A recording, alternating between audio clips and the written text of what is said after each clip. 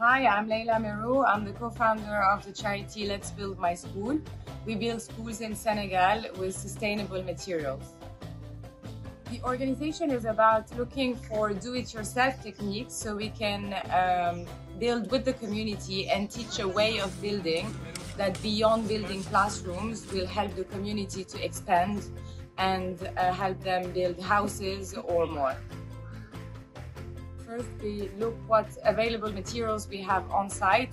We analyze the soil and then we modify the soil if we need to um, to uh, build the school with only local materials. So in the past, we have used super adobe technique, which is filling up bags with stabilized earth. We are um, looking for other techniques and um, that's uh, what we're looking for with the competition. The next project is located in Marsassoum in Senegal. It's in the southern part of Senegal, on the other side of Gambia. It's a much uh, humid climate. It rains from July to October. The school will have seven classrooms. At the moment, the classrooms are uh, temporary classrooms, which means that they are recognized by um, the government, but they are not built as built structures. They have woven bamboo walls and they have zinc roof. They collapse at each rainy season and they cause the school to stop. So our aim here is to come and uh, provide this existing school with built classrooms.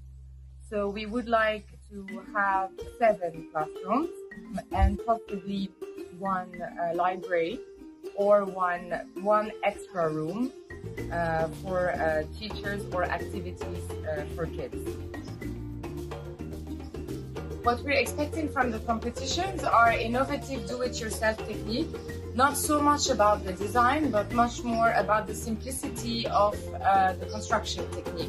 So we're looking for something that is quite easy to teach to the community and easy to apply during the construction technique. So then the villager can take ownership of this technique that the participant, the winner, would have uh, invented to develop uh, more construction for their village, houses, or other classrooms.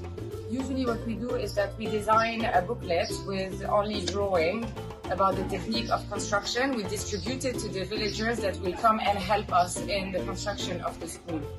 Uh, the benefits that we can offer to the participant is to participate to a volunteer trip.